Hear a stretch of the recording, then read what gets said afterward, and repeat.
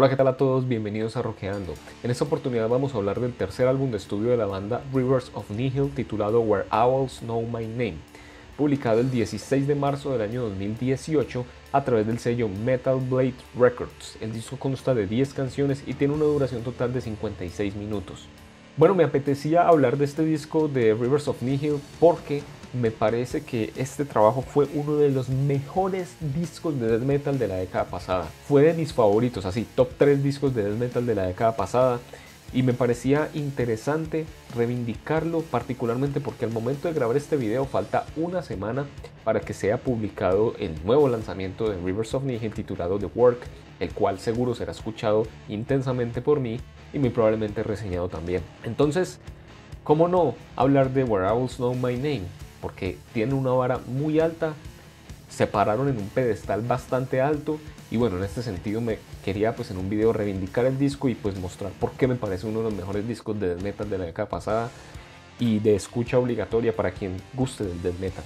Rivers of Nihil tuve la fortuna de conocerlo cuando no tenían ni un lanzamiento, cuando tenían apenas 12 EPs y era una banda pues independiente en una compañía discográfica muy pequeña. Tenían 12 EPs titulados Hierarchy y el segundo era Temporality Unbound. Hacían un technical death metal, pero que me llamaba mucho la atención porque no era un technical death metal que tenía esos como mucho technical death metal de la última década, un sonido exageradamente limpio, pulido, sobre, sobreproducido, sobreprocesado, sino que conservaba un espíritu bastante crudo, era bastante directo, técnico por supuesto, pero era, pero era un sonido que recordaba mucho incluso a nivel de producción, a nivel de performance, más el death metal clásico que el technical death metal de la pasada década. Aparte de eso tenían un vocalista que dentro de las bandas de death metal tiene y de los estándares de vocalistas de guturales dentro de las bandas del death metal, este vocalista no tenía un registro tan grave, tan crudo, tan cavernoso si se quiere, sino a veces incluso acercándose más al, a una performance más hardcoreera que death metalera. Los firma Metal Blade Records, que para quien conozca el mundo del metal, pues sabe que es una de las compañías de metal más grandes del mundo, más reconocidas, y publican The Conscious Seed of Light en el año 2013. Un buen disco que digamos es un tanto menos técnico a lo que venían haciendo en sus EPs, en una producción por supuesto mucho más profesionalizada, me gustó que no lo pulieran tanto, sino que mantuvieran esa crudeza. Fue un buen disco, no me pareció nada extraordinario, pero es un disco pasable de death metal. Nada, nada especial, de death metal puro. Algunos elementos técnicos, pero más que todo death metal puro. Posteriormente en el 2015 publican Monarchy, que es un disco que ya donde ya se empiezan a ver algunos cambios en la banda. Particularmente es un disco en el que se empiezan a preocupar por sofisticar la construcción de canción. Sobre todo la segunda parte de ese disco me parece que tiene canciones bastante arregladas, bastante pensadas, no solo en el sentido de que son más técnicas, sino que tienden a tener esos momentos más progresivos y empiezan a incorporar atmósferas. Una de las cosas que vamos a ver en Where All Know My Name es como las guitarras muchas veces, siempre hay una guitarra como presentando pequeñas armonías de fondo que le van brindando como un, como un tapiz de sonidos un poco sombríos, medio casi de inspiración black metalera.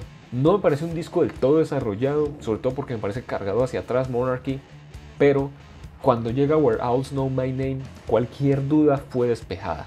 En Where Owls Know My Name nos encontramos un disco que es de death metal bien técnico que recoge influencias de por ejemplo los sonidos del Yen, pero los mejores aspectos del Yen y no los peores y es sumamente progresivo. Este es un disco que también tiene muchísimo de metal progresivo y en ese sentido hacen una combinación que para mí lo convierten en un clásico de la década pasada del death metal fácilmente por la inteligencia con la que construyeron este disco.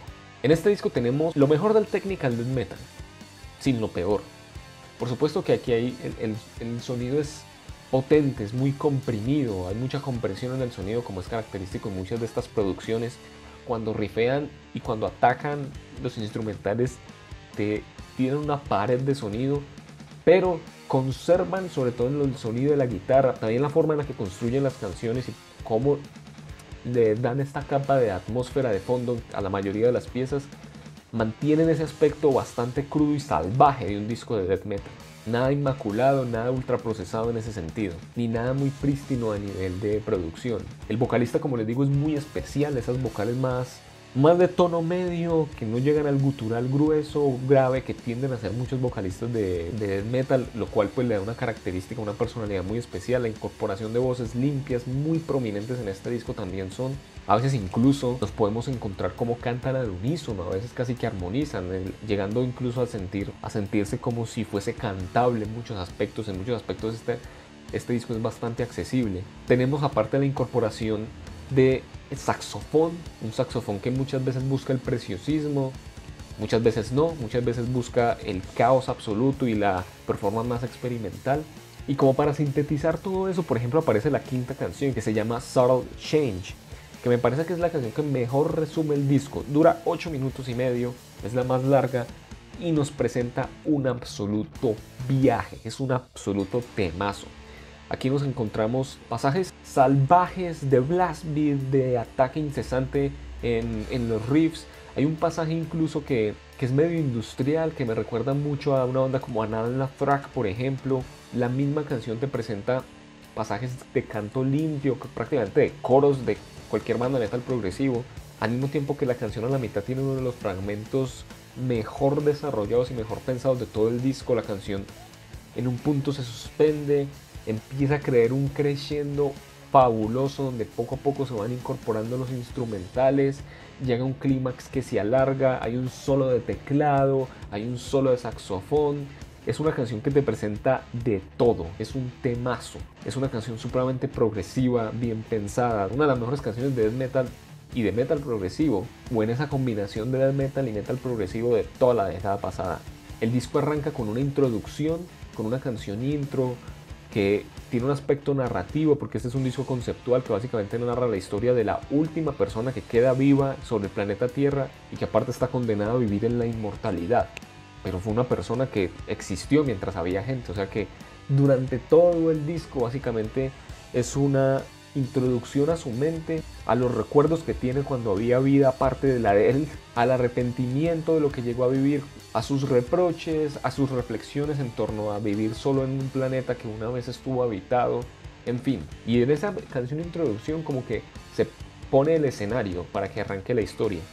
El único pero que le pongo a este disco que es, es el siguiente. Después de esa introducción arranca la canción de Silent Life, que es un temazo pero después de una introducción así tan paciente, prácticamente meramente narrativa, pues uno espera que la canción que le da inicio como tal al disco explote y te pegue en la cara y no, The Silent Life se construye con mucha lentitud. Al final es una canción excelente, es una canción muy bien pensada, es la primera canción que incorpora saxofón, que emplea dos solos, uno más preciosista, otro más salvaje, loco, y un poco, digamos, experimental. Y no es sino que llegamos hasta la tercera canción, A Home, que es una de mis favoritas también, que es probablemente de las canciones más concretas, al mismo tiempo que tiene estos elementos de Jen, por ejemplo, al mismo tiempo que emplea recursos tan interesantes como el, el solo que se emplea acá de guitarra, es un solo absolutamente, digamos, eh, lleno de efectos sonoros, porque es medio psicodélico, no, no sabría decir qué pedal está usando en ese sentido, porque pues no tengo el conocimiento técnico,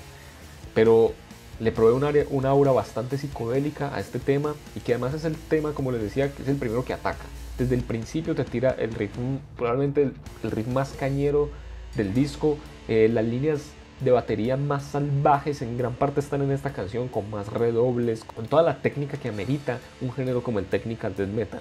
Tenemos un interludio que es Terrestia, la sexta canción, que es un interludio puramente industrial, que a veces incluso se siente como, no sé, a veces yo lo siento como si fuera el tráiler o, o, la introducción de una película como Transformers. Tenemos canciones como Hollow, The Dead is Real, que son increíblemente para hacer canciones de death metal, para hacer canciones que son intensas, salvajes, brutales, se sienten al mismo tiempo en gran medida como em, reflexivas, medio melódicas, pero sin ser melodic del metal en ningún sentido, se sienten bellas.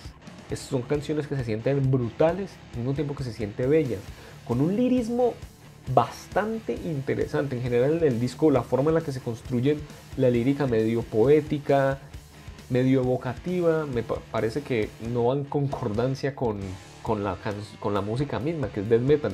Sabemos que el death metal en un inicio pues hablaba de muerte, hablaba de gore, hablaba de cosas así fuertes y llega un punto en el desarrollo lírico del death metal que empiezan a cambiar las temáticas, incluso muchas bandas a incorporar elementos de tipo social y todo, eh, y, otro tipo de enfoques líricos. Y este es uno de los discos de death metal, al menos de la década pasada, que me parece tiene un lirismo más evocativo, más interesante, cosa que si uno lee las letras nada más, jamás pensaría que es un disco de death metal, nunca. Luego por último me gustaría destacar la canción homónima Where Owls Know My Name, que es una canción que uno podría decir que dentro del contexto del disco es una balada. Es una canción sumamente paciente, hasta cierto punto melódica, eh, calma, casi nunca ataca con, con los elementos más tradicionales de death metal. Va siempre a medio paso y no obstante es hipnotizante. Las líneas de guitarra son hipnotizantes, las líneas vocales, sobre todo las limpias, son hipnotizantes. El, solo de saxofón que entra acá es hermoso, es una preciosura, una belleza de, canción. Y se termina confeccionando un disco fantástico. La vara está altísima para el nuevo lanzamiento. Este disco es todo lo que uno quiere, brutal, sofisticado, técnico, evocativo, atmosférico. Esas líneas de guitarra que se ponen al fondo, a veces también con teclados, se ayudan, digamos, un poco con teclados que le dan una aura como a toda esa brutalidad, ahí siempre ustedes van a ver una capa de fondo de sonidos como etéreos, medio claustrofóbicos, muy, muy influenciados por el black metal. Aquí nos encontramos excelentes canciones muy bien arregladas con influencia progresivo, cuando, cuando tienen influencia de Jen, cuando emplean influencia de Jen en la forma de construir ciertos riffs, lo hacen muy bien, pero con los mejores elementos del Jen. Entonces terminan haciendo un disco fenomenal, uno de los mejores discos de death metal de la década pasada y para todo fan de metal que no haya escuchado Where I Know My Name, creo que es una escucha imperativa. Vamos a ver qué resulta del próximo lanzamiento, tengo una alta expectativa por este trabajo sobre todo y los invito a que si les gusta el death metal escuchen este disco, por favor, no se van a arrepentir. Esto es todo por hoy, gracias por ver el video, denle like si les gustó, comenten, suscríbanse, activen la campanita Sigan el canal en las redes sociales y nos vemos la próxima. Hasta luego.